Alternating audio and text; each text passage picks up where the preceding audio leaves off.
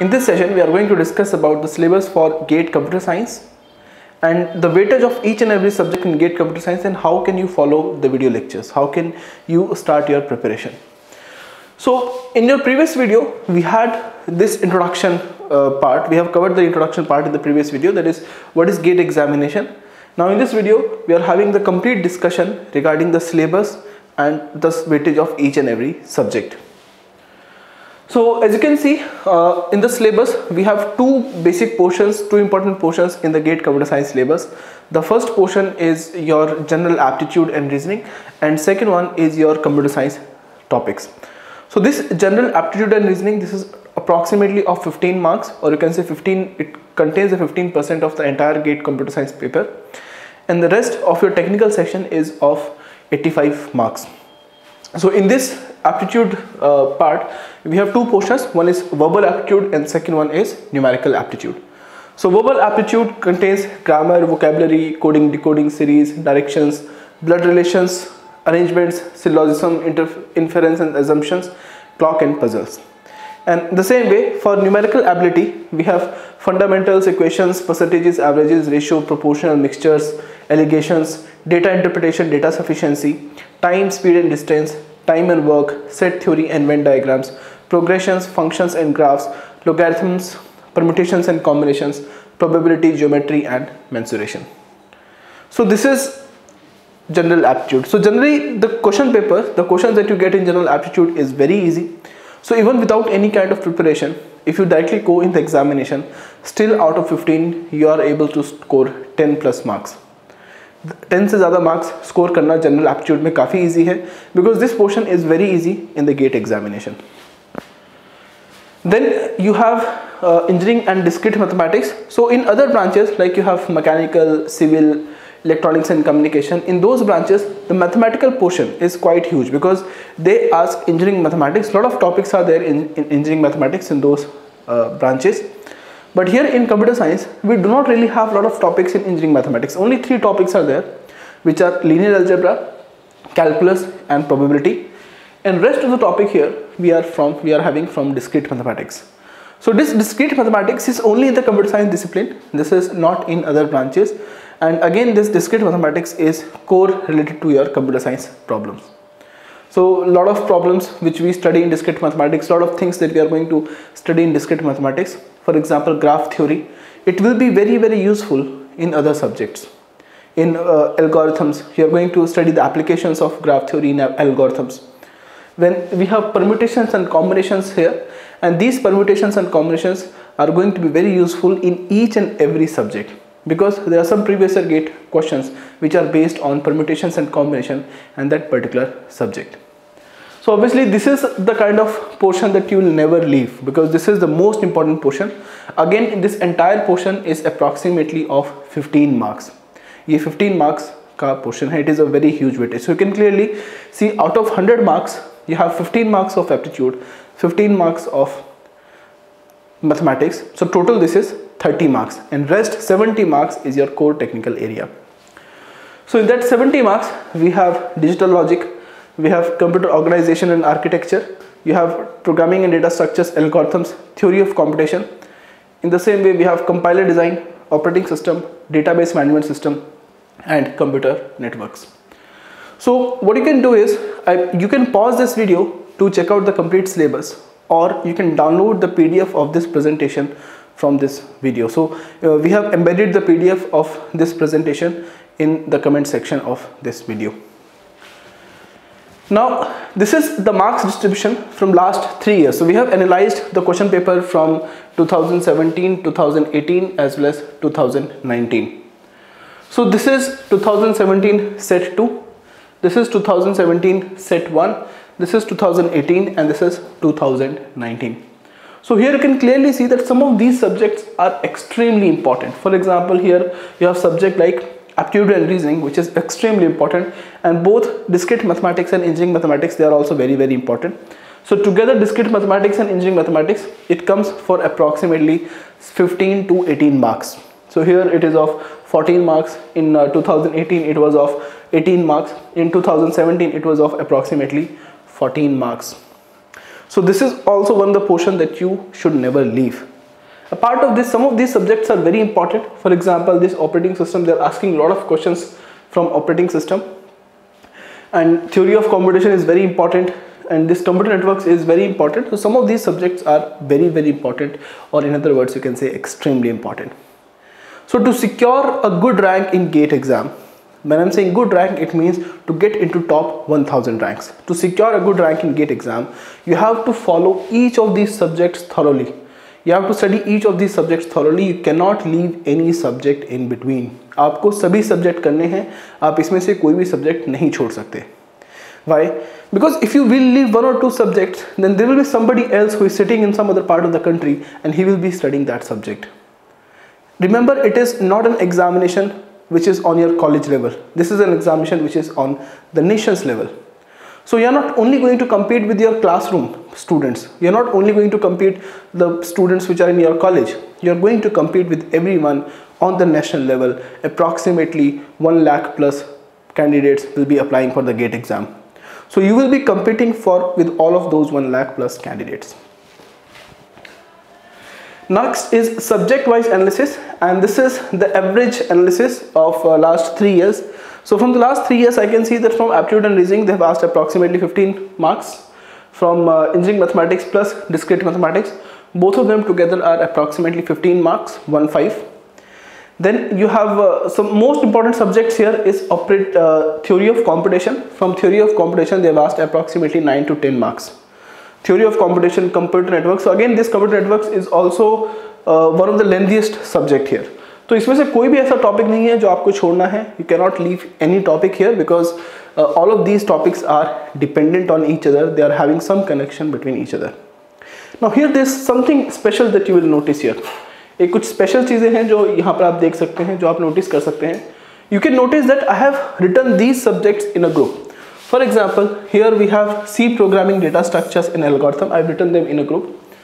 We have digital logic, computer architecture organization and operating system. We have theory of computation and compiler design. Then you have discrete mathematics and engineering mathematics. And then this is DBMS, this is computer networks and this is reasoning. So why I have written them in a group?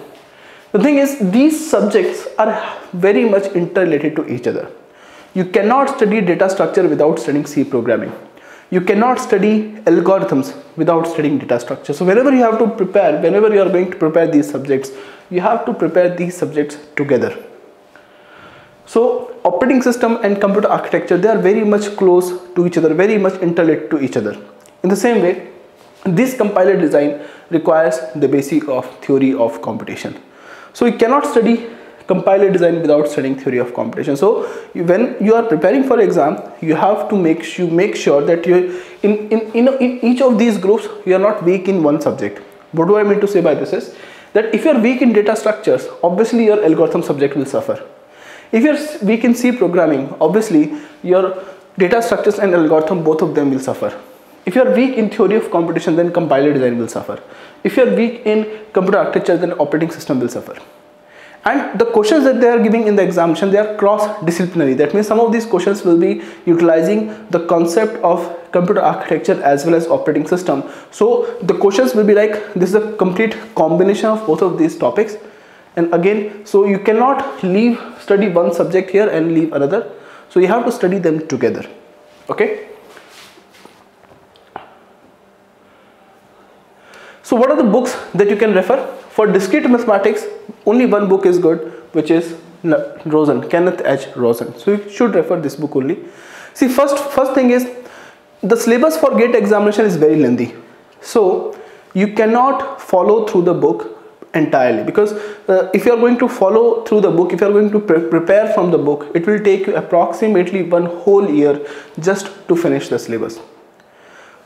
The syllabus is very lengthy books के अंदर आप अगर spend करेंगे तो बहुत time आपको लगेगा and that you cannot afford to spend so it is always better that you should take some guidance some coaching somewhere or use some notes to understand what are the topics you have to study so here for discrete mathematics kenneth h. Rosen is the best book but for graph theory you can also refer deo.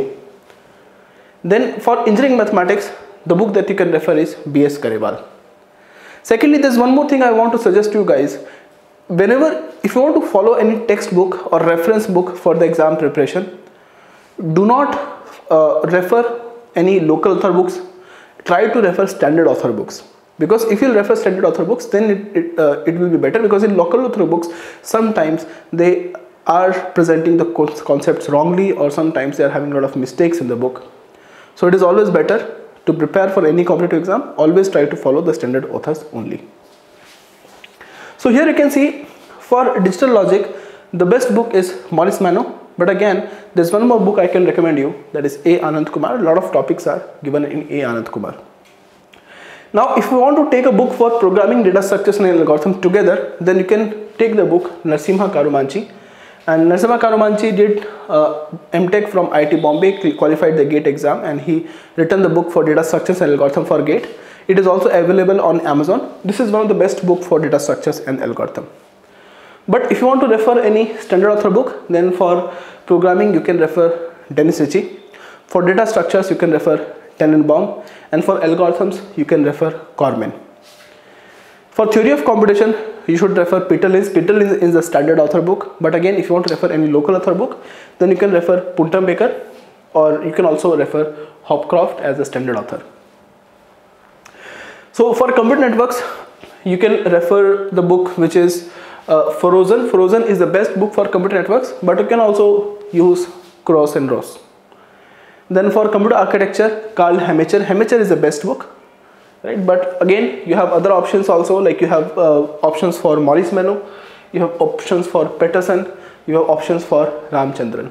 So, but I think Carl Hamacher will be the better book and best book for computer organization and architecture. For operating system, you should refer Galvin. Galvin is the only book which is good enough. But again, if for a few topics you want to refer other books, you can refer Tanenbaum and William Stallings. And for database management system, I believe Navathe is the better book. But the problem is I personally feel that the language given is Navathe is not easy to understand. So you can also refer Korth. Korth is a very easier book. But again, if you can refer Navathe, that will be the best. For compiler design, you can refer Ullman. This is the only book that we can refer you. This is the only thing that you can do. Okay. now, how to study the subject? In which order should I study? So everybody gets these questions. Now order means because see subjects are dependent on each other. For example, you cannot study compiler design before studying theory of computation. You cannot study operating system or you cannot study computer architecture without studying the concepts of digital logic. You cannot study algorithms without studying the concepts of data structure. So again, it depends which order should you follow to prepare for the exam. I would recommend you that initially start with discrete mathematics. So any of these three orders you can follow, any of them is uh, good. So if you are not good with discrete mathematics, then you should start with discrete mathematics. But if you are good with discrete mathematics, then you can follow this schedule also. Because discrete mathematics, mein, the concepts of combinatorics, permutations and combinations and probability, those concepts will be used in each of these subjects. In every subject here, the concepts of permutation, combinations, series, and probability they will be used extensively. So if you are weak in that portion obviously you are going to suffer in other topics. So here uh, you can start with discrete mathematics.